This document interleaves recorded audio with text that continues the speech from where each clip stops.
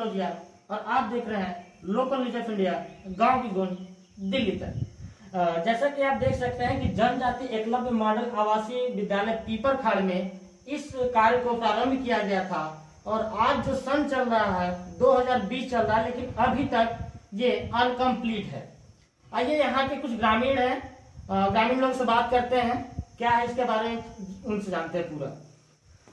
क्या नाम है आपका? प्रमोद कुमार। तो ये कब स्टार्ट हुआ था? ये देखिए सर 2011 में माननीय विधायक जी थे सत्यनारायण जयसव जी। जी।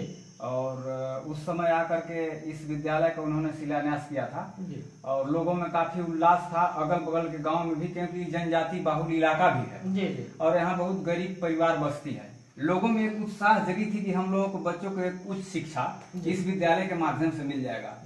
इसके बाद कार्य शुरू हुआ धीरे गति से चलते चलते ये दस साल करीब लग गया।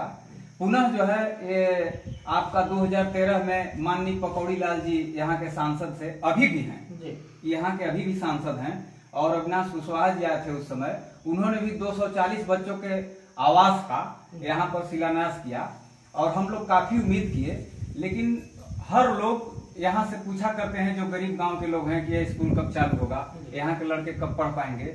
यह उम्मीद पता नहीं उम्मीद बन के रह जाती है कि यह खुलेगा। ऐसा हम लोग उम्मीद कर रहे हैं हो सकता है कि आपका पहल इसमें सर कामयाब हो जाए। जैसे कि हम सरकार को ये संदेश देना चाहते हैं कि या तो विभाग लापरवाही पूर्वक सो रही है गवर्नमेंट की असली बात नहीं बता रही है या जहाँ से संचालित होना है उन्हें यह बात पता नहीं है क्योंकि करोड़ों करोड़ों रुपए लग करके यह बिल्डिंग बनी हुई है। और जिस उम्मीद से बनी हुई थी उस उम्मीद पर यह विभाग खरा नहीं उतर रहा है या समाज कल्याण विभाग को पैसा नहीं मिल पा रहा है ये तो मैं नहीं बता पाऊँगा। लेकिन कहीं न कहीं से बड़ी भारी चूक हो रही है। यह बिल्डिंग काफ़ी दिनों से इस तरफ़ पड़ा रहा तो चालू होने से पहले ही ध्वस्त भी हो सकती है। अभी हमारे बीच यहाँ के चौकीदार भी हैं उनसे बात करते हैं। सर आ जाइए इधर। क्या नाम है आपका? मेरा नाम है कुंज बिहारी यादव। कुंज यादव। यहाँ कब से है आप? हमें यहाँ हो गया सात आठ साल करीब हो गया चौबीस अच्छा ये काम जब से स्टार्ट हुआ तब से? है तो तब से नहीं बाद में आए हैं अच्छा। तो ये काम कब तक आपको कुछ अंदाज़ा है? मतलब ये काम आपको भाई आता होगा इन्फॉर्मेशन मिलता होगा कि ये चालू होगा या बंद होगा ऐसा कुछ करके? अभी तो कोई हमें ज़्यादा नहीं अधिकारी ये बात बता पाएँगे चलिए ठीक। जैसा कि आप देख सकते हैं कि यहाँ पे करोड़ों करोड़ों रुपए आए थे लेकिन अभी तक ये जो आपका भवन है ये जो विद्यालय है अभी तक अधूरा पड़ा हुआ है। देखते हैं सरकार इस पर अपनी क्या पहल करती है। यह दरवाज़ा राम मंदिर का तो नहीं लेकिन शिक्षा के मंदिर का है।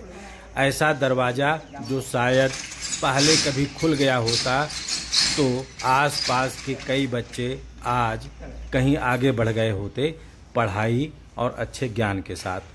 लेकिन इसकी दुर्दशा यह है कि यह सपा के समय में बनाया गया उनके विकास के युवा जोश वाले तर्ज पर एक मकबरा साबित हो रहा है।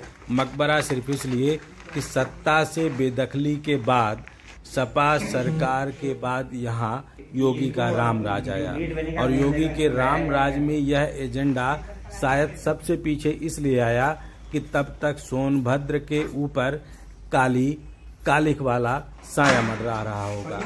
लेकिन आज डीएम एस राजलिंगम ने जिस तरीके से इस भवन के पास आकर समाज कल्याण निगम के अधिकारियों को एक साफ़ संदेश दिया है कि उनकी फाइलों में बंद, विकास के नाम पर लूट और इसको 11 साल तक गर्त में डालने की सजा उनको मिल सकती है, अगर वो जाँच में दोषी पाए जाएँगे तो।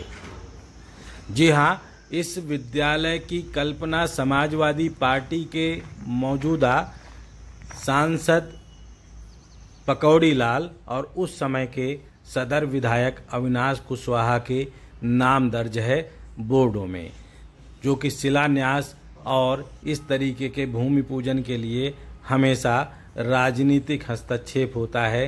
बाद में वो कहाँ जाता है इसके बारे में तो ऐसे अधिकारी थोड़ा संज्ञान लेते हैं और आते हैं लोगों के भविष्य को, उम्मीदों को फिर से जगाने के लिए।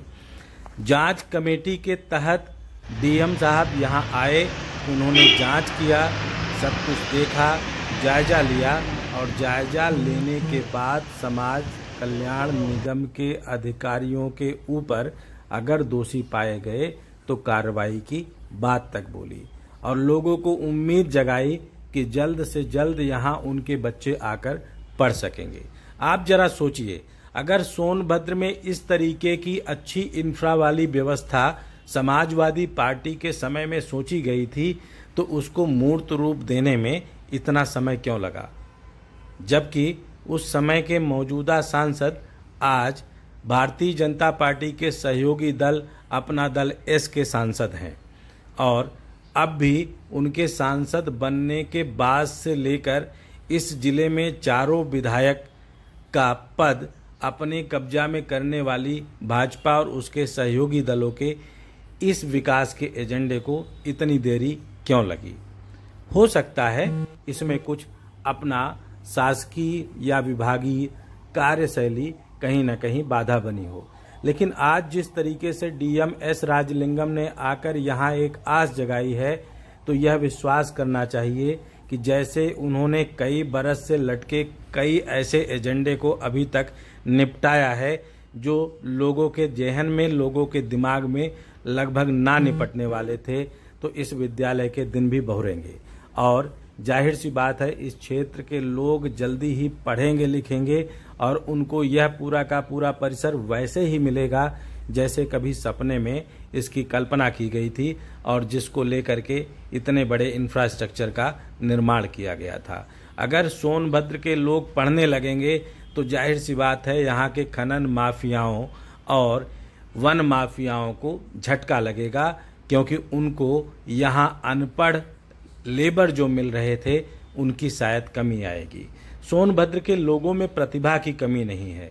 लोग आगे बढ़ना चाहते हैं, उनको सिर्फ़ और सिर्फ़ मौके और उसकी तलाश है, सुविधाओं की तलाश है, जिससे वो आगे बढ़ पाएँ। शायद डीएम एस राजलिंगम की यह मुहिम उन लोगों को भी करारा जवाब देगी जो शिक्षा के पदों पर बैठ करके घूस लेने के लिए आजकल बदनाम किए जा रहे हैं। हर ऑडियो एडिटेड नहीं होती, हर वीडियो एडिटेड नहीं होती। खासकर सोनभद्र में चला गया कोई ऑडियो और वीडियो बहुत कम चांस है कि एडिटेड होगा, कोई छत्तीसगढ़ तो है नहीं। यह सोनभद्र है और ऊपर से यहाँ योगी का रामराज है। और इस ज़िले में कप्तान आशीष श्रीवास्तव और डीएम एस राजलिंगम जैसे सजग प्रहरी भी हैं। शिक्षा विभाग में बीएसए गोरखनाथ पटेल हैं जो कायाकल्प का प्रयास करते हैं। यह विद्यालय उनके दायरे में तो नहीं आता, लेकिन यहाँ विकास होगा, यह उम्मीद अब जग गई है। कि जिलाधिकारी महोदय एस आर लिंगम जी दौरे पर आए हुए थे। उन्होंने जाँच किया। मौके पर पहुंचकर उन्होंने ये कहा, समाज कल्याण निर्माण निगम के अधिकारियों के ऊपर एफआई करने करने का निर्देश दिया है और उन्होंने आश्वासन दिलाया है कि जल्द से जल्द यह काम चालू हो जाएगा। उन्होंने कहा है कि बहुत जल्द से जल्द आपके बच्चे इस विद्यालय में पढ़ पाएँगे। आज के लिए बस इतना ही। देखते रहिए एन न्यूज़, गाँव दिल्ली तक। सुरमणि कनौजिया सोनभद्र